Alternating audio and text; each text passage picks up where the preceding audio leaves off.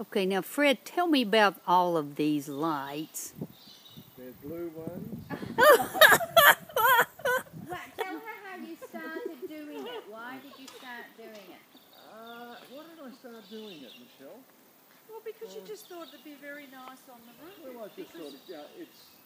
I, I think Christmas is a fabulous time of year, Joe, It is. and it's a good way of uh, getting the message out to the community.